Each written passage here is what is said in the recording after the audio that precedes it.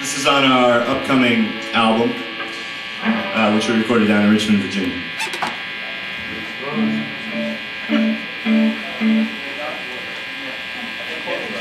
Ready?